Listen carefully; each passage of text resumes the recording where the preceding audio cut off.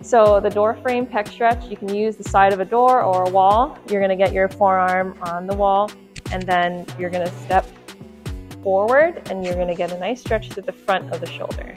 And you can change with different angles, overhead, or even down below for a different area of the stretch.